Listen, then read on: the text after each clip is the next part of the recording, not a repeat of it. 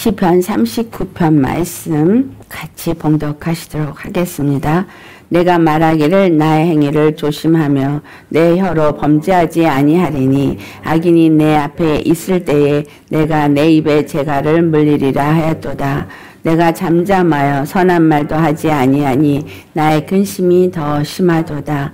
내 마음이 내 속에서 뜨거워서 작은 소리로 읊조릴 때에 불이 붙으나 나의 혀는 말하기를 여호와여 나의 종말과 연한이 언제까지인지 알게 하사 내가 나의 연약함을 알게 하소서 주께서 나의 날을 한뼘 길이만큼 되게 하심에 나의 일생이 주 앞에는 없는 것 같사오니 사람은 그가 든든히 서 있는 때에도 진실로 모두가 허사뿐이니이다. 진실로 각 사람은 그림자 같이 다니고 헛된 일로 소란하며 재물을 쌓으나 누가 거둘는지 알지 못하나이다. 주여 이제 내가 무엇을 바라리요 나의 소망은 주께 있나이다. 나를 모든 죄에서 건지시며 우매한 자에게서 욕을 당하지 아니하게 하소서. 내가 잠잠하고 입을 열지 아니함은 주께서 이를 행하신 까닭이니이다.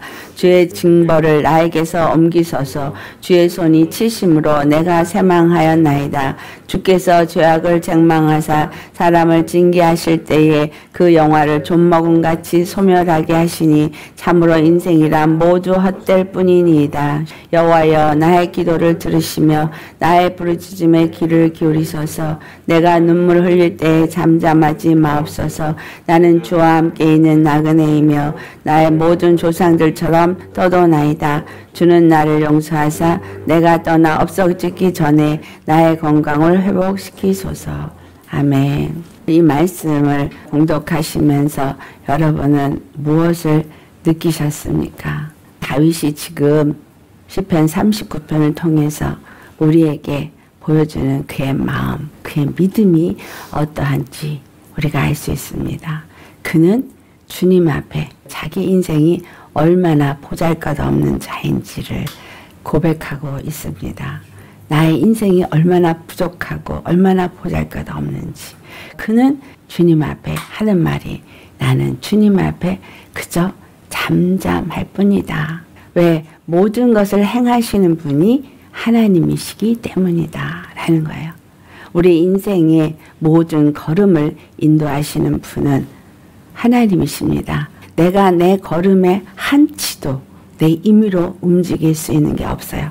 사람의 걸음을 우리가 어떤 일을 행하겠다고 계획을 할지라도 그 걸음을 인도하시는 분은 하나님이십니다. 내 걸음에 내가 무엇을 계획한다 할지라도 하나님이 인도하지 않으면 아무것도 될 것이 없기 때문에 그것이 좋은 일이든 나쁜 일이든 주께서 그 모든 길을 인도하시는 데는 뜻이 있다라는 거죠. 다윗이 고백하는 이 고백을 통해서 우리는 우리 자신이 예수님 앞에 어떤 모습으로 서서 주님 앞에 이 시간 만약에 고백을 하라면 할 것인가 한번 생각을 해 보시겠습니다. 1절을 보면 나의 행위를 조심하여 그가 자기 행위를 조심한답니다. 자기가 행보를 아주 조심하는 이유는 누구 앞에서? 악인들 앞에서요. 이 세상에 사는 동안에 그가 행보를 조심한다는 거. 그 이유가 그 뒤로 나오고 있죠. 왜 행보를 조심하냐? 그 이유는 자기의 모든 걸음을 인도하시는 분이 하나님이시기 때문인 거예요. 그리고 그가 내 혀로 범죄하지 아니하리니 그는 결단한 자기의 마음의 상태를 주님 앞에 지금 고백을 하고 있습니다. 나는 내 행보를 조심하고 내 혀로 주 앞에 범죄하지 않기 위해서 조심합니다. 그 말이에요. 왜냐하면 모든 행보나 모든 입의 말이나 하나님 앞에 내가 온전하고자 죄를 짓지 않고자 그와 같이 한다는 거예요. 근데 여러분 어떠세요? 우리는 그렇게 주님 앞에 늘 나의 모든 말과 행동을 그렇게 늘 돌아보면서 여러분 자신이 하나님 앞에 범죄하지 않기 위해서 조심하고 계시느냐. 사람과의 관계 속에서 어떤 말을 할 때나 어떤 행동을 할 때나 이 모든 것이 하나님이 기뻐하시는 것인가 아닌가를 늘 조심하여 살피며 행하시는가라는 거예요. 그때그때 불쑥불쑥 내 생각이 올라오는 대로 내 마음이 올라오는 대로 말하고 행동하고 한다면 이 시간 우리가 우리의 입술과 우리의 행보를 살피시기를 축원합니다. 악인이 내 앞에 있을 때 내가 내 입에 재갈을 먹이리라.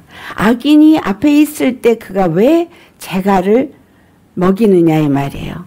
바로 우리의 혀가 하나님 앞에 아주 쉽게 범죄하기 때문이에요. 내 혀가 움직이는 대로 두면 이 혀는 야고보서 1장 26절에 말을 하는데 자기 혀를 재갈을 먹이지 아니하고 자기 마음을 속이면 이 사람의 경건은 헛것이라 그랬거든요. 내 혀에 자갈을 물리지 않고 내 입의 혀가 움직이는 대로 말해버리면 아무리 경건함을 잊고 주님 안에서 하나님의 형상을 닮아가기 위해서 애쓰고 힘쓰는 그 고난의 길을 간다 할지라도 그것이 헛것이 된다 이 말이에요. 세상 말도 있죠. 자기 입으로 다 복을 쏟아버린다고. 잘 가다가 그 말 한마디에 복을 쏟아버린 일이 실제로 있습니다. 우리 입술에 부정의 말을 할 때 가다가도 부정적인 말을 하, 면은 곧 그 부정적인 말에 나를 딱 울물에 묶어버리는 거거든요. 하나님이 나를 만드셨을 때 이전 것은 지나갔으니 보라 새 것이 되었도다. 라는 말씀을 하시죠. 자, 이 새 것이 되었도다 라는 이 말은 죄의 사람이 아니라 이제는 의인이다 이 말이에요. 세상에 속한 자였으나 이제는 너희는 하나님께 속한 자라 그 말이에요. 내가 세상을 산다 하나 나는 세상에 속한 자가 더 이상 아니고 하나님께 속한 자이기 때문에 새로운 피조물인 거예요. 아멘. 육으로 살고 있는 것 같으나 실상은 영으로 사는 자이기 때문에 새로운 피조물인 거예요. 하나님께 속한 자, 즉 생명으로 사는 자. 하늘에 속한 자로 살기 때문에 새로운 피조물인 것이지 내가 예수님을 믿는다고 말하고 교회 나가고 그리고 찬성 부르고 예배 드리고 기도하고 부르짖는다고 새로운 피조물이 된 것이 아닙니다.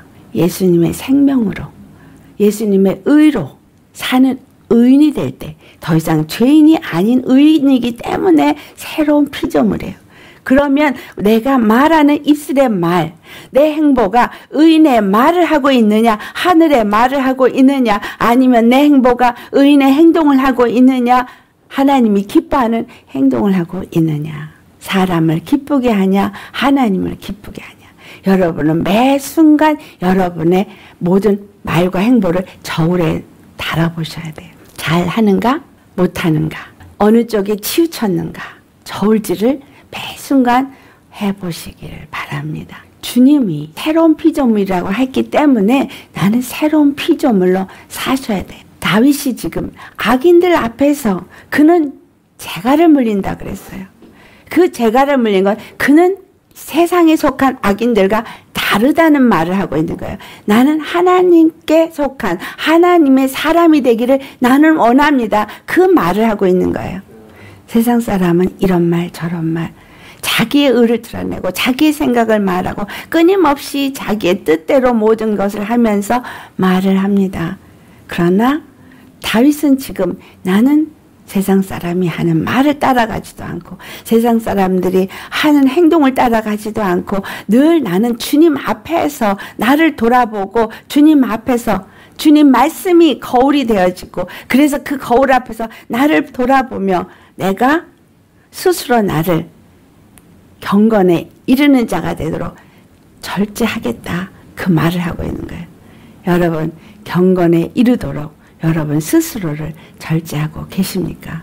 그 말들은 야고보서 3장 3절을 보면은 말, 우리 입의 말이 아니라 사람들이 타고 다니는 말, 그 말에 재갈을 물리는 걸 말하고 있어요. 왜 재갈을 물리느냐? 그것은 그 말이 주인이 타고 가는 대로 그대로 순종하게 하기 위해서 재갈을 물린다 그랬어요. 여러분이 입에 재갈을 물리고 여러분이 여러분의 행동에 생각과 마음에 절제를 하면서 그것을 이끌어 가야 되는 이유는 우리가 하나님의 것이기 때문입니다. 여러분 하나님의 것인 거 맞습니까? 입으로는 나는 주님의 것입니다라고 말을 해요. 그러면 주님의 것이면 주님이 원하시는 대로 주님의 뜻대로 순종해야 되잖아요. 예수님이 지금 그 입에 자갈을 물으셨어요. 어디서? 그 악한 자들에게 잡혀갔을 때. 할 말은 많았으나 그들이 예수님을 주먹으로 치고 침으로 뱉고 거짓 증언을 하고 그렇게 한다 할지라도 예수님은 아 무 말을 하지 않았어요. 그냥 잠잠하셨어요. 마치 도수장으로 끌려가는 어린 양처럼 덜 깎는 자 앞에 놓인 양처럼 그렇게 주님은 잠잠한 이유가 무엇이었어요? 하나님의 뜻대로 순종하기 위함이에요. 하나님의 뜻대로 순종하기 위해서 우리는 우리 생각에 절제가 있어야 되고 우리의 마음에 절제가 있어야 되고 우리 입술에 절제가 있어야 되고 우리 행동에 절제가 있어야 된다는 거예요. 나의 모든 이러한 것들이 믿음의 길을 가는 것이냐 아닌가를 늘 여러분은 어디에서 말씀 앞에서 비추어서 말씀 앞에서 분별하고 말씀에 따라서 나아가야 하나님의 사람입니다. 내 생각을 따라 말을 하는 게 아니라 하나님의 말씀 앞에 비추어서 하나님의 생각을 따라서 말하는 사람. 그러니까 내가 말을 하고 싶은 것이 있어도 말을 안 하는 거예요.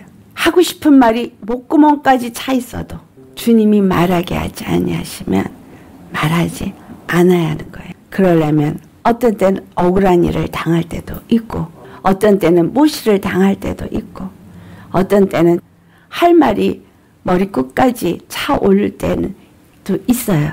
다윗이 오늘 여기서 하는 말이 자기가 정말 할 말이 많지만 이 절 말씀을 보면은 내가 잠잠하여 선한 말도 하지 아니하니 자기가 하는 말은 선한 말인데도 그는 잠잠하다 그랬어요. 근데 이 말이 그 원어적인 의미에는 다른 의미도 있는데 장님같이 보지 못한 자같이 시집살이를 할 때 벙어리 3년, 소경 3년 그런 말 있잖아요. 할 말이 있어도 입을 다문다 이 말이죠. 그런데 오늘 다윗이 한 이 말이 그거예요.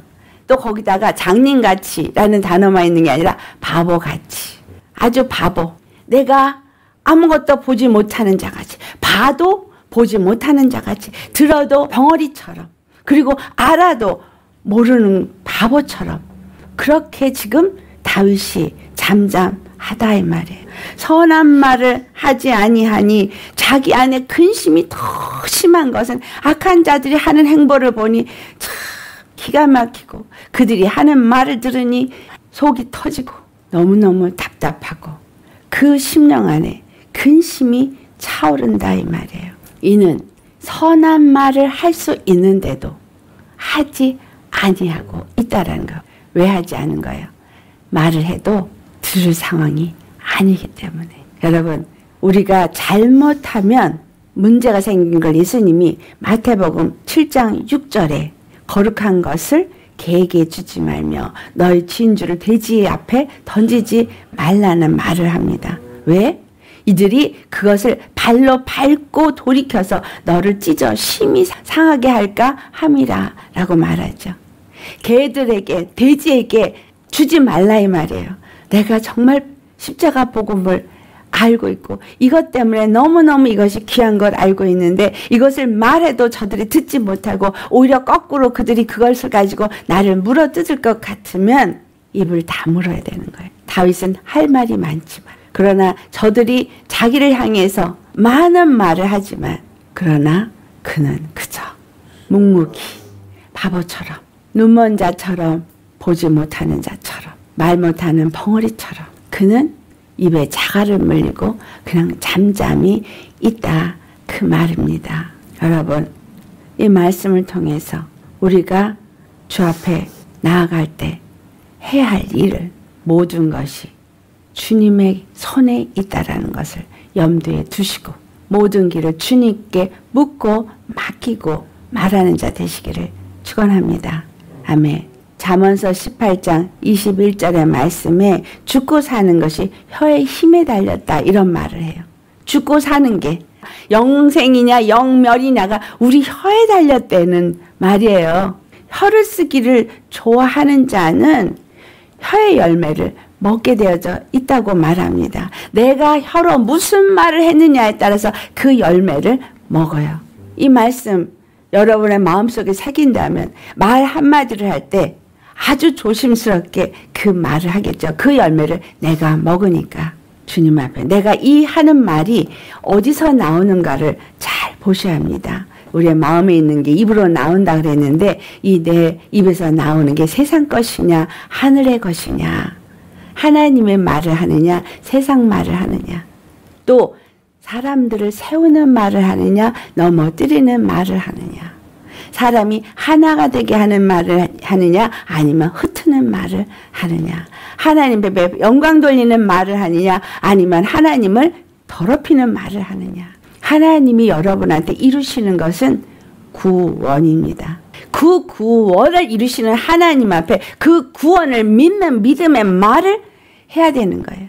믿음 없는 말을 하지 말아야 되겠죠. 다윗이 자기가 하고 싶은 말이 여기까지 차 있는데도 그거를 하지 아니하니 그 마음의 속이 막 뜨거워서 그가 중얼중얼중얼중얼 했다는 거예요. 작은 소리로 읊조렸다는 말은 중얼중얼중얼 누구한테? 주님 앞에 중얼중얼 할 때 주님 앞에 중얼중얼중얼 진짜 주여 내가 답답하고 속상하고 못 견디겠고 그래서 주님 앞에만 중얼 한나가 여 앞에 나가서 기도할 때 그 입술이 그냥 떨렸다 그냥 중얼중얼 그냥 떨리니까 엘리는 그가 술에 취했다고 하지만 그런데 그때 한나가 말한 건 그의 심령에 불 붙은 것 같은 그러한 마음 때문에 무슨 마음? 주님 앞에 간절한 여러분 이런 거 경험해 보셨나요? 주님의 감동과 감격과 감화가 이 안에 가득 차면은요. 그것이 슬픔인 것 같으면서도 감격인 것 같으면서도 뭔가 벅찬 감동인 것 같으면서도 그러면서 내 안에서 주님을 향해서 막 기도를 올려드릴 때가 있거든요. 그럴 때는 입술이 그냥 떨려요. 아무 말도 안 나오고 그냥 떨려요. 그렇게 떨리면서 그 떨리는 것도 그냥 떠는 게 아니라 그게 기도예요. 내 심령이 토해지는 기도. 주님 앞에 작은 소리로 중얼중얼중얼 한 것 같다지만 그가 그렇게 심령이 막 불붙는 그 심령으로 그 혀가 주님 앞에 말을 하는데 무슨 말을 했다는 거예요? 사절을 보니 다윗의 마음을 너무나 잘 표현하고 있어요. 그는 주여 나의 종말과 연한이 언제까지인지 알게 하사 내가 나의 연약함을 알게 하소서. 이는 너무 사는 이 자체가 세상의 악함 자들 속에서 자기가 그 믿음을 지키고 하나님만 온전 섬기는 이것이 너무 힘든 거예요. 그러니 여기서 종말과 연한이라는 얘기는 끝과 사는 날, 내 삶의 끝나는 날과 내가 살고 있는 이 날의 수가 얼마인지 나에게 좀 알게 해달라 라는 말을 하고 있는 거예요. 내가 10년을 살지 20년을 살지 30년을 살지 내게 알게 해달라는 거예요. 왜? 나의 연약함을 주여 그래서 그 사는 동안에 나의 연약함을 알아서 나는 결단코 주님에게서부터 돌이키지 아니하고 주님의 온전한 그 신의 성품에 이르는 자가 되기를 원하는 간절함인 것입니다. 순간에 죄를 지을 수 있는 것이 우리입니다. 그리고 다윗은 5절에 고백을 해요. 자기 인생이 얼마라는 걸 뭐로 표현했어요? 나의 나를 한 뼘 길이만큼 되게 하셨다.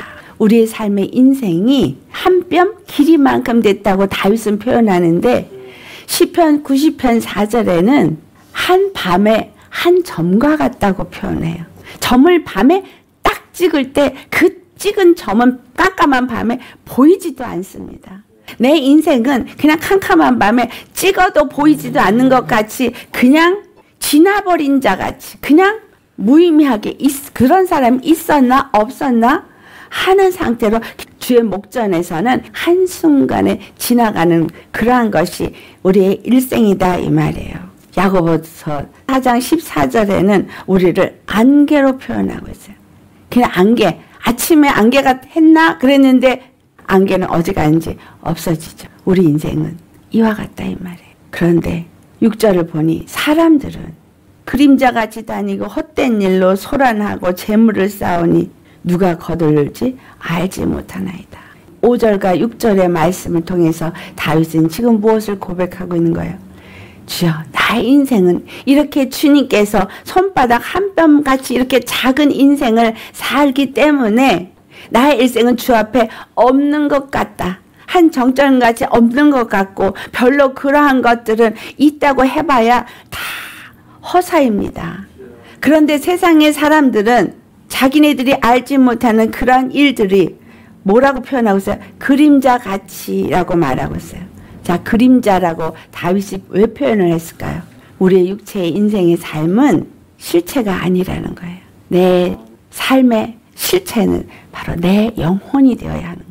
육체를 입고 있는 이 삶은 그냥 영혼이 하늘나라를 갈 준비를 하느냐 아니면 지옥으로 떨어질 것을 준비하느냐 그 기간일 뿐이지 그것은 한 정점과 같이 한 뼘과 같이 그냥 여호와 하나님 앞에 주님 앞에 아무것도 아닌 것 같이 지나가는 한 순간인 거 같이 지나가는데 그 순간에 하루가 천년 같고 천년이 하루 같은 그 하나님은 우리의 인생을 온전히 영생에 이르도록 내 심령 안에 생명으로 채우고 하나님의 그 영광의 사람으로 형상을 만들기 위해서 허락한 시간일 뿐이다 이 말이에요. 이 육체는 그림자일 뿐이고 정말 참 실체는 내 안에 예수 그리스도로 말미암아 세워진 속사람이 실제인 나다 이 말이죠. 여러분은 무엇을 위해 살고 있습니까? 내 안에 있는 내 속사람을 위해서 살고 있습니까? 모든 생각과 마음이 늘 그 속사람에 초점이 맞춰져서 주님 안에서 영적인 사람을 영적으로 주님 안에서 온전히 세우기 위해서 살고 있습니까? 아니면 이 그림자 같은 내 인생에 초점이 맞춰져서 살고 있습니까? 세상 사람들은 이 그림자 같은 인생에 초점이 맞춰져서 이 그림자 같은 그 인생을 위해서 헛된 일로 부지런히 소란스럽게 뭔가 열심히 하루 종일 애쓰고 힘쓰며 살고 있고 재물을 쌓아놓고자 원한다는 거예요. 이 한 뼘 같은 인생 다윗은 든든히 서 있다 할지라도 이 모든 것은 허사다라고 표현하고 있습니다. 솔로몬이 전도서 1장 2절에 그것을 뭐라고 표현해요? 헛되고 헛되고 헛되니 모든 것이 헛되도다. 그가 육체적으로 많은 수고를 한 것을 기록하고 있죠. 전도서에. 그러나 이 모든 것이 헛되다는 거예요. 해 아래에서 행한 모든 수고가 다 헛되다라는 말이에요. 육체로 해 안에 있는 모든 수고 아무리 부귀영화를 누려도 그 모든 것이 헛되고 아무리 수고해서 재물을 쌓아도 그 모든 것이 헛된 것 뿐이다 이 말이에요. 왜? 육체는 그림자일 뿐이기 때문에 그래서 주님은 지금 이 다윗을 통해서 우리에게 말씀하고 있는 것이에요. 내 영혼을 위해서 살라 그 말을 하고 있는 거죠. 내 영혼을 위해서 사는 것 누가복음 12장에 어떤 부자의 얘기를 예수님께서 하십니다. 그가 19절에 내 영혼아 올 여러 해 쓸 물건을 많이 싸다 두었으니 평안히 쉬고 먹고 마시자 즐거워하자 그랬다는 거예요. 그렇지만 예수님께서 하시는 말씀이 뭐라고 하세요? 이 어리석은 자여 오늘 밤에 내 영혼을 취한다면 누게 이 모든 재물이 유익하겠느냐 다윗이 재물들을 쌓으나 누가 거둘는지 알지 못하나이나 똑같은 말이죠. 우리의 모든 수고가 육적으로 열심히 수고를 해도 그 모든 헤아려 하는 수고는 다 헛된 것 뿐입니다. 그런데 어느 것만 여러분이 결실로 얻을 수 있어요? 내 혀가 열심히 육을 위해서 일했다면 그 육체의 열매를 맺는 건 다 헛것이지만 그러나 예수 그리스도 안에서 주님만을 바라보고 그 약속을 바라고 그분이 이루실 그 구원을 바라고 세상에 어떠한 일이 있어도 내가 그것 때문에 넘어지거나 흔들리거나 요동함이 없이 그분의 말씀 앞에서 그분의 이끌림을 받고 그분이 이루실 그 일에 소망을 가지고 그저 맡겨진 직분을 내가 충성을 다하며 매일매일 순정하며 내 뜻과 상관이 없이 주님이 말씀하시면 그대로 순정하며 그 길을 간다면 그 모든 수고는 다 상으로 갚아 주십니다. 나를 이 죄에서 건지시고 새로운 피조물이 되게 하신 그분 앞에 다윗은 말하고 있는 거예요. 주여 내가 이제 무엇을 바라리요? 7절 말씀에 나는 오직 주님만 바라겠습니다. 나의 소망이 오직 주께 있나이다. 우리의 소망은 오직 예수님께 있으셔야 합니다. 아멘. 오직 나의 소망이 예수님께 있기 때문에 나의 모든 삶의 행보가 모든 걸음이 주께 맡겨진 자가 되어지고 주께 의지하는 자가 되어지고 주께 묻는 자가 되어지고 주님의 말씀대로 순종하며 주님의 뜻을 이뤄가는 자가 되어질 때 세상은 나를 이해하지 못하고 나를 핍박하고 조롱한다 할지라도 그 길을 가는 자는 망하지 않습니다. 그리고 다윗은 그가 주 앞에 구하는 것 나를 모든 죄에서 건지시며 우매한 자에게서 욕을 당하지 아니하게 하소서. 나는 이 세상에 속한 그러한 우매한 자가 되지 않겠다 그 말이에요. 나는 이 세상에 살면서 주님 앞에 죄를 범하는 자가 되지 않게 하여 달라 그 말이에요. 나는 잠잠하고 입을 열지 아니하는 그 이유는 주께서 이를 행하신 까닭입니다. 그가 고난 가운데, 그가 고통 가운데, 그가 사람들의 조롱 가운데 놓여 있다 할지라도 주께서 이 모든 일을 행하신 까닭에 그는 잠잠히 있다라는 말이에요. 예수님이 그가 가신 그 길이 주님이 그에게 허락하신 일이고 그는 주님의 뜻대로 이루기 위해서 잠잠히 그 길을 갔다 그 말이에요. 다윗의 고백처럼 예수님이 그렇게 가셔서 우리도 그렇게 가야 하는 거예요. 나에게 이 일을 허락하신 것은 주님이 허락하신 기 때문에 나는 잠잠히 입을 열지 아니하고 아버지께서 이끄시는 대로 행한다 이 말이에요. 히브리서 10장 30절에 원수 갚는 것이 내게 있으니 내가 갚으리라 라고 주님이 말씀하셨다는 말씀. 그러니까 이 세상에 어떠한 일이 있다 할지라도 여러분 무엇만 붙잡고 가면 돼요. 나의 소망이 되시는 예수님의 부활. 그 십자가의 표대를 향해서 달려가는 자. 하늘의 소망을 두고 가는 자는 이 땅에서 비록 육이 고통을 당하고 고난을 당해서 고난 가운데 있다 할지라도 다윗은 그 마음이 흔들리지 않기를 주 앞에 구하고 있습니다. 주의 징벌을 나에게서 옮기셔서 주의 손이 치심으로 내가 쇠망하였나이다. 그가 지금 고통 가운데 있음을 알 수 있습니다. 그러나 주께서 죄악을 책망하사 사람을 징계하실 때에 그 영화로 좀목금 같이 소멸하게 하시니 참으로 인생이란 모두 헛될 것 뿐이니이다. 그가 이스라엘의 왕의 자리에 있다 할지라도 여호와 하나님 앞에 죄를 지었을 때 그는 그저 모든 것이 하나님의 징계에 놓이는 그 순간에 그 영화는 헛된 것일 뿐이다 라는 거예요. 우리가 주님 앞에 잘 되면 신나서 야, 축복을 받은 것 같고 징계를 받는 것 같은 어려움에 놓이면 마치 나는 지금 죄악 가운데서 버려진 자 같이 그렇게 느끼지만 실질적으로 뭔가 잘 나가는 것이 오히려 저주일 수도 있습니다. 뭔가 잘 되는 것 같은 것이 저주일 수도 있어요. 왜?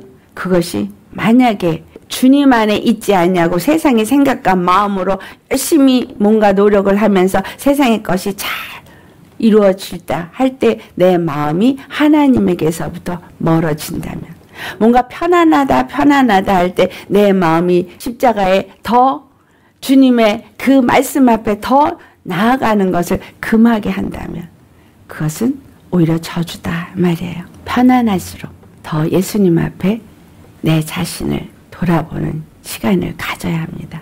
십자가 앞에 더 나아가서 내가 이 십자가의 은혜에서 떨어졌나 안 떨어졌나를 보셔야 합니다. 믿음 생활을 오래 하면서 뭔가 말씀을 안다고 하는 사람들이 그 십자가의 은혜의 감격과 감동이 줄어들어요. 없어져요. 그리고 아는 척을 하고 아는 말을 열심히 합니다. 그러면 믿는 모습도 갖고 있고 교회 다니고 있고 그리고 믿는 말을 하지만 그는 믿음에서 떨어진 자예요. 이거 우리가 굉장히 조심하셔야 돼요. 전 매일같이 이렇게 여러분한테 말씀을 전하지만 내 마음 안에 예수님 십자가의 은혜를 얼만큼 감격으로 받고 있나 전 그 생각을 늘 합니다. 왜? 아무리 말씀을 잘 전해도 그것은 나의 구원과 관계가 없기 때문이에요. 내가 예수님의 십자가의 은혜로 내 심령이 그 은혜 가운데 있지 않다면 다른 사람은 구원을 했을지 몰라도 나는 구원받지 못하기 때문입니다. 그래서 내 자신이 항상 예수님 십자가 앞에 있으려고 노력하고 그 십자가 앞에서 내 심령이 얼마나 떨리는 가슴으로 그 은혜를 받고 있는가를 돌아봅니다. 다윗이 지금 이와 같은 자기가 힘들고 어려운 심령이 뭐예요? 정말 할 말이 있어도 할 수 없고 뭔가 주님을 향해서 자기의 마음을 토하고 싶어도 토할 수 없는 상황에 놓여 있어서 심히 마음이 답답한 거. 예수님이 그렇게 십자가를 치러 가실 때 심령이 얼마나 애통하셨겠어요. 얼마나 분통하시고 얼마나 아프고 그 영혼들이 알지 못해서 하나님이 보내신 하나님의 그 사랑에 예수님을 십자가에 못 박고 조롱하고 비난하고 그러나 그 불붙는 것 같은 심령도 입을 다무신 것은 하나님의 뜻대로 행하기 위해서예요. 왜? 사람의 말로 하는 것이 아니라 바로 십자가에서 죽으시고 부활하시면서 그 부활하심이 바로 생명의 근원이심을 나타내시고 생명의 능력이심을 나타내시고 사망 권세자 세상 권세자는 그 생명 앞에 아무것도 아닌 것을 나타내시기 위한 하나님의 뜻인 것입니다. 그리고 그것을 이제 믿는 자들에게 성령을 보내주시고 이제 성령이 그 예수님을 증거케 하심으로 말미암아 결국은 하나님이 우리 안에서 성령으로 이끄시고 우리로 온전히 예수님만 의지하는 자로 만들길 원하시기 때문이라는 거예요. 여호와여 나의 기도를 들으시며 나의 부르짖음에 귀를 기울이소서. 내가 눈물 흘릴 때 잠잠하지 마옵소서. 나는 주와 함께 있는 나그네이며 나의 모든 조상들처럼 떠도나이다. 자기 인생이 나그네 인생이라 이 말이에요. 자기 사는 날과 끝이 언제인지 모르나 한 뼘 길이만큼밖에 안 되는 이 인생일 뿐이다 하는 거죠. 그러나 그는 무엇이 중요한지를 알고 주 앞에 구합니다. 나의 영혼의 영원한 영생, 하나님 나라에 들어가는 이 길밖에는 되게 중요한 것이 없기 때문에 나는 죄악 가운데 있으면 안 되고 내가 이 세상의 사람들의 사는 그 길에 서서도 안 되기 때문에 주여 나를 죄악 가운데서 건져 주시옵소서. 내가 주님 앞에 부르짖을 때에 내, 내게 응답하시옵소서. 그리고 혹 내가 죄를 짓지라도 주여 나를 용서하소서. 그리고 나를 회복시키시옵소서. 내 영혼을 회복시키시고 내 육체도 회복시키시고 예수님 밖에는 나를 구원할 구원자가 없사오니 주여 나에게 외면치 마시고 나를 건지시는 구원의 하나님이 되심을 나타내시옵소서. 그 말을 하고 있는 거예요. 얼만큼 예수님을 찾고 구하고 계십니까? 나는 지금 잘하고 있어 라고 만족하고 계십니까? 매 순간 예수님이 없으면 나는 살 수 없는 자가 되어져서 그 예수님이 십자가 앞에서 늘 그분을 찾고 구하는 자가 되고 계십니까? 늘 나 자신의 그 죄악된 그 죄성을 돌아보면서 부족한 것을 돌아보면서 회개하면서 주님 앞에서 거룩한 심령으로서 새로운 피조물로서 하나님의 영광을 나타내는 자로서 아버지의 뜻을 이 땅 가운데 이루기 위해서 나를 내어놓는 자로서 그분 앞에 울부짖는 자가 되기를 축원합니다. 우리는 한 뼘 인생이라고 표현한 것처럼 안개라고 표현한 것처럼 그림자라고 표현한 것처럼 한 밤에 지나가는 점으로 표현한 것처럼 이 육체 인생은 아무것도 아닙니다. 아무리 배불러 잘 먹어도 그뿐이고 아무리 돈이 많아도 그뿐인 거예요. 아무리 부귀영화를 누려도 그냥 그뿐이에요. 왜? 그것은 영원한 것이 아니기 때문에 하나님은 우리에게 영원한 것을 주기를 원하시기 때문에 내 생각과 내 마음이 내 초점이 바로 그 영원한 영생에 맞춰지기를 원하십니다.